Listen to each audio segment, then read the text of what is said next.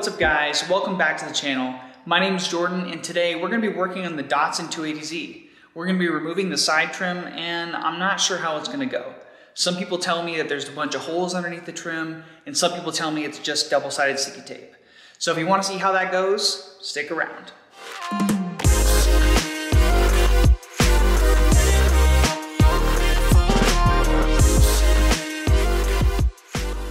And so I've always hated the side trim on the side of the Datsun. I think it's ugly and it's cracking and it's made of plastic and it looks really cheap. But I knew that if I took off the trim that there might be holes underneath. So I never did it. And so now that we're planning to maybe paint the car at the end of the year, I'm gonna start doing exterior body mods to the car, putting on a new front valence, um, new grills, maybe a new wing, a bunch of other stuff. But the reason why I'm doing this is because we're gonna be painting the car sometime towards the end of the year. So I'm gonna start working towards exterior modifications. And so I hope that if you wanna see that, you'll stick around and subscribe to the channel. But uh, today we're just doing something simple. We're gonna remove the trim and hopefully there's no holes underneath. Like most project cars, our Datsun looks great from about 10 or 15 feet. But as you get closer, you can see the blemishes and especially this side trim, it just really looks bad these days. It's cracked and discolored and it just looks like garbage. So that's the reason why I wanna take it off. But one of my buddies, Joel, here in town, he restores Datsuns. He told me that he thinks this one might be the kind that just has the double sticky tape. And I tried to do some research. And the only information that I could really come up with is that the side trim that has the silver on the outsides and the black on the inside is double sticky tape. And the trim that has silver on the middle and black on the outsides is the kind that leaves the holes. And I don't know, I found that on old forum posts, so I don't know how reliable that is, but today I think we're gonna find out. So to remove the trim today, you just need a couple tools. We need a heat gun, and what we're gonna do is we're gonna heat up the trim, and that's gonna get the double-sided sticky tape nice and soft. And then you're gonna use some fishing line, and then you take that fishing line and you sneak it behind the trim, and then you hold it on both sides and kind of saw off the trim and that's gonna take away some of the sticky tape, but it's also gonna leave behind a lot of sticky tape. So to get rid of that, you're gonna get one of these 3M eraser attachments for your drill. I got this one at O'Reilly's and I was really surprised to find out that these things are $55. But basically whatever is left behind, you put it on it and then and it removes it. So I've never used one of these things before, but hopefully it works. And it's supposed to remove everything without scratching the paint, but it probably still will, but we'll polish it and take care of it anyway. All right, so first step, we're just gonna heat up the trim and then we'll go from there.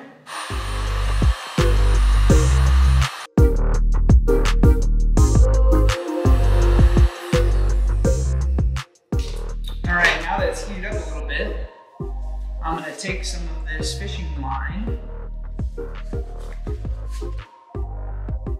and I'm just gonna sneak it behind and see if we can start cutting this trim a little bit. Oh yeah, this is like super easy.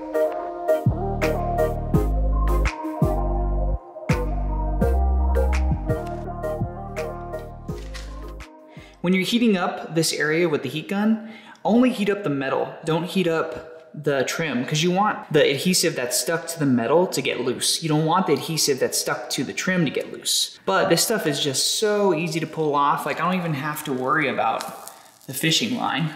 So I think it's gonna be easier than we thought. But be careful though, if your paint is really, really crappy, you could pull the paint off if you're not careful. But I'm barely even tugging on this. It's just coming off so easy.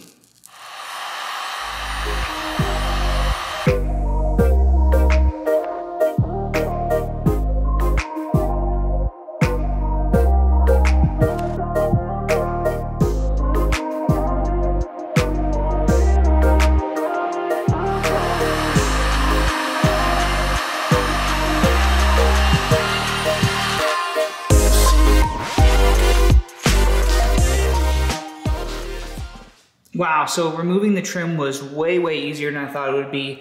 However, it's not all good news. So I did get a little bit of paint coming off right here. I think it all started with this little rust spot and then, um, you know, whatever else happened here. So not all good news, but, you know, we're gonna be doing a bunch of rust repair, a cosmetic rust repair on the car over the next year. So just part of the process, I guess. Um, it can't be perfect all the time.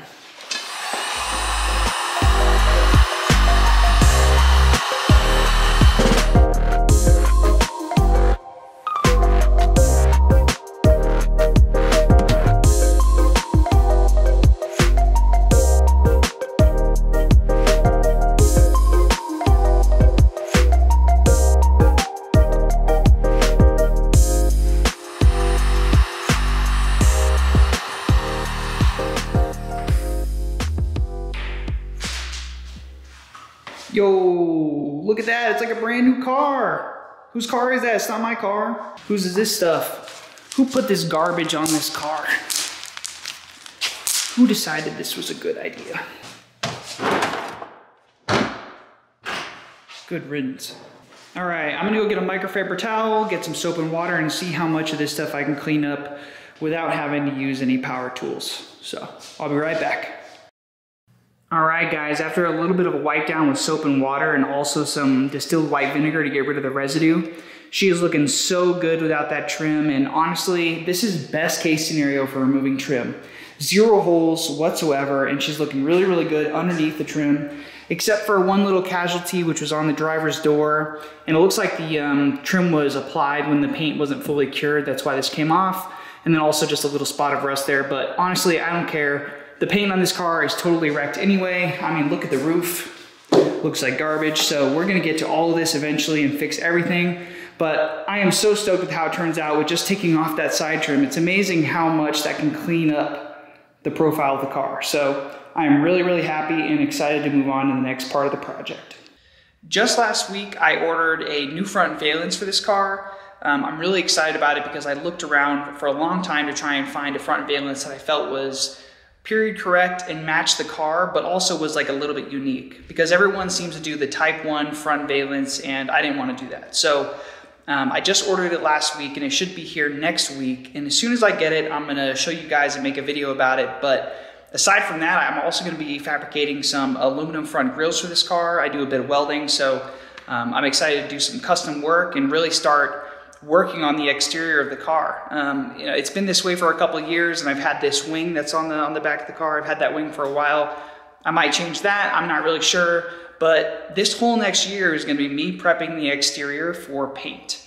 So stick around if you want to see the transformation of this car over the next 12 months. Uh, subscribe to the channel, hit that like button on this video, and thanks for watching. This was a really simple and easy video, but it turned out great. So thanks for watching, we'll see you next time. Scenario for removing the side trim.